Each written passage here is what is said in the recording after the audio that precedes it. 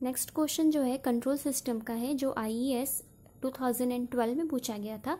Question है a system is described by transfer function G S equals to two S plus five upon S plus five S plus four the D C gain of the system is तो जब भी हमें D C gain निकालना हो तो हमें two steps follow करनी है।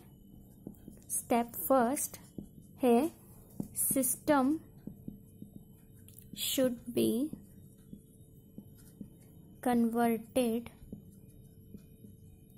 into time constant form and step second we have to put s equals to 0 in the transfer function of system तो फ़र्स्ट हमें जो ट्रांसफ़र फ़ंक्शन हमें दे रखा है जीएस इसको हम टाइम कांस्टेंट फॉर्म में कन्वर्ट करेंगे।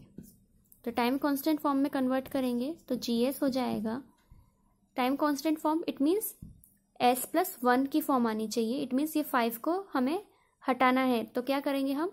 इसको कॉमन ले लेंगे। तो फाइव को हमने कॉमन लिया तो क्या बचेगा?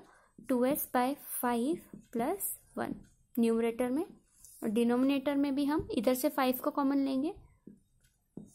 तो बचेगा S by five plus one और इसमें से भी हमें फोर को कॉमन लेना पड़ेगा। क्या हो जाएगा? S by four plus one ये वाला फाइव इस वाले फाइव से कैंसिल हो गया। बचा क्या? Two S by five plus one upon four S by five plus one into S by four plus one अब सेकेंड स्टेप में हम क्या करेंगे? जी एस में हम S equals to zero put करेंगे। ठीक है? S equals to zero put किया तो क्या बचेगा न्यूमरेटर में? वन अपॉन में डिनोमिनेटर में फोर इधर भी ज़ीरो पुट किया तो ये वन और इधर भी ज़ीरो पुट किया तो वन फाइनली आंसर आया one by four that is zero point two five तो हमारा जो डी सी गेन आएगा, वो क्या आ रहा है? ज़ीरो पॉइंट टू फाइव ये है आंसर और ये किस ऑप्शन ऑप्शन से मैच हो रहा है? ए से मैच हो रहा है.